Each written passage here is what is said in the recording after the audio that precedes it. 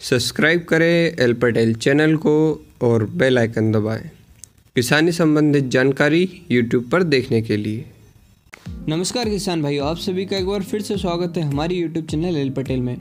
आज हम बात करेंगे एडीडीसी टाइप हाइड्रोलिक्स की और मीटा हाइड्रोलिक्स जो काफ़ी किसान भाइयों ने सुना होगा कि इसमें मीटा हाइड्रोलिक्स आती है, इसके बारे में थोड़ी डिटेल जानेंगे। तो चलिए वीडियो शुरू करते हैं। सबसे पहले अगर बात की जाए कि मीटा हाइड्रोलिक्स है क्या तो ये एक कंपनी है जो कि मीटा हाइड्रोलिक्स बनाती है। इसके जो पूरा शेयर है, वो सीएनबी ग्रुप के पास है, ज़्यादातर शेयर इसलिए वो सीएनबी ग्रुप के अंडर में काम करती है।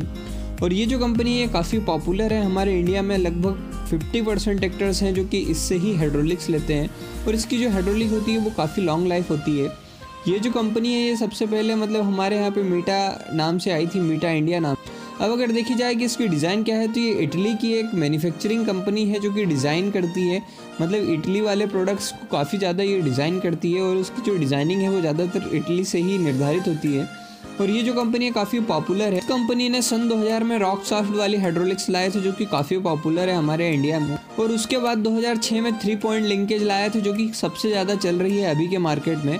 और ये जो हाइड्रोलिक है 2006 के बाद इतनी ज़्यादा पॉपुलर हुई है कि लगभग सभी कंपनियों ने इसे हायर करना चालू कर दिया।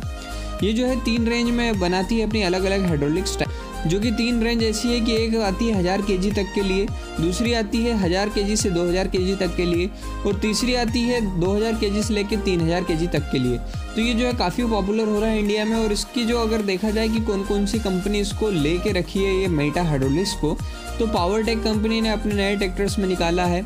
जो अभी नया ट्रैक्टर आ रहा है इनका फॉर्म टेक का आइटम उसमें भी वही आ रहा मतलब फॉर्म टेक ने भी अब धीरे धीरे लेना चालू कर दिया है। कुबोटा के अंदर भी लगभग वही वाली हाइड्रोलिक्स दी जाती है। जॉन्डियर के अंदर तो आपको मिल ही जाएगी आइसर के अंदर मिल जाएगी। और जो स्वराज नौ की है, वो भी ऐसी लगती है जैसे मीटा द्वारा हाइड्रोलिक वो भी बनाई गई है, क्योंकि उसकी डिज़ाइन पूरी मीटा स्टाइल लगती है। और मीटा हाइड्रोलिक्स की खास बात यह है कि ये एडी टाइप की आती है। काफ़ी ज़्यादा किसान भाइयों को नहीं पता है कि एडीडीसी टाइप की हाइड्रोलिक्स कैसी होती है। तो एडीडीसी टाइप की जो हाइड्रोलिक्स होती है, उसमें एक पोजीशन कंट्रोल लीवर होता है, दूसरा ड्राफ्ट कंट्रोल लीवर होता है। पोजीशन कंट्रोल लीवर क्या करता है कि आपको जो इम्प्लीमेंट है, उसे उठाने और बिठाने के लिए इस्तेमाल किया जाता है। और जो आपका ड्राफ्ट कंट्रोल लेवल होता है, वो ड्राफ्ट को फिक्स करने के लिए मतलब इस गहराई के बाद अगर आप नीचे ले जाते हैं तो ऑटोमेटिक ऊपर होना चाहिए, या फिर इस गहराई से अगर वो ऊपर होता है तो ऑटोमेटिक नीचे जाना चाहिए।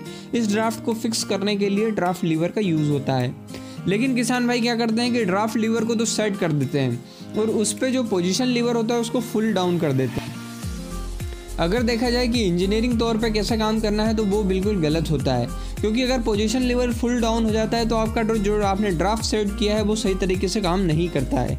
इसलिए जो पोजीशन लीवर है उसको क्या करना है आपको कि लॉक सिस्टम आता है जो हर ट्रैक्टर के अंदर दिया जाता है। उसमें जो पीसी लीवर और डीसी लीवर लिखा हुआ होता है, उसमें से जो डीसी लीवर है उसको एक निर्धारित जो आपके लग रहा है कि यहाँ से स्लीपेज आपके टायर की ख़त्म हो गई है, वहाँ पर उसको फिक्स करना है और पीसी लीवर को उसी के बिल्कुल पैरेलल में फिक्स करके लॉक कर देना है। उसके बाद उसे पोजीशन लीवर से ऊपर नीचे करना है मतलब पोजीशन लीवर से उठाना है और पोजीशन लीवर से वापस वहीं तक डाउन करना है ताकि अच्छा ऑपरेशन हो।